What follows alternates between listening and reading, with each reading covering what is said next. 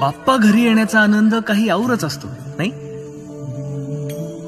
ते येतात मोजक्याच दिवसांसाठी पण त्यांच्या येण्याची चाहूल मात्र महिनाभर आधीच लागते. आई काकू मावशी आजी रोज रात्रीच्या सिरियल्सला महासबंक करतात आणि इथे जमा होतात बाप्पांचे फेवरेट मोदक मीच बनवणार? लाडू मी बरं का? आणि आम्ही दोघी रात्रपाय करू बाप्पांच्या सोबतीला.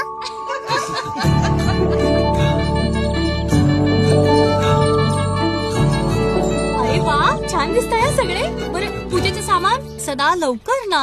घेतलंय ना सगळं? झाली सगळी तयारी? बघ प्रसाद कुठे आहे सदा? प्रसाद.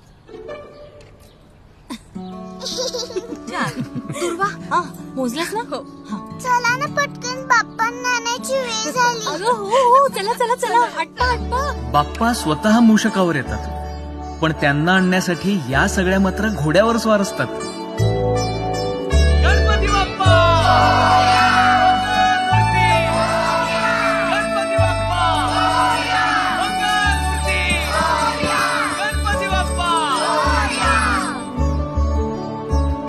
बाप्पांना घरी कोण घेऊन जाणार आहे? आहे आपण घेऊन जाऊयात की. वेडी कुठली? अगं हे काम मुलं करतात. ईशान दादा कुठे? ईशान दादा? या या पुढे या. या पुढे. ईशान जरा जपून हा. काकू तुम्ही का नाही घेऊन जाऊ शकत बाप्पाला? अरे बाळा तशी प्रथा आहे. बाप्पांना पुरुष मंडळीच घरी घेऊन जातात. दादा मला एक सांगा. बाप्पांना पुन्हा त्यांच्या घरी घेऊन जाण्यासाठी कोण येतं बरं? त्यांची आई येते की गौरी?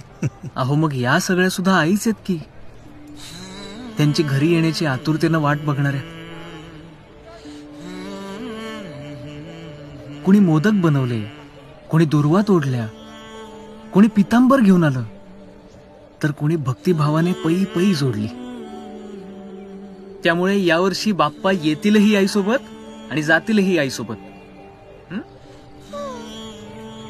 नाही पण प्रथा काकू तसंही कुठल्याही नव्या गोष्टीची सुरुवात आपण बाप्पाच्या आशीर्वादानेच करतो ना? मग या वर्षी या नव्या प्रथेची सुरुवातही बाप्पाच्या आशीर्वादानेच होऊ दे की. मनामध्ये बाप्पाला हे जणू हेच वाटे. आईच्या कुशीमध्ये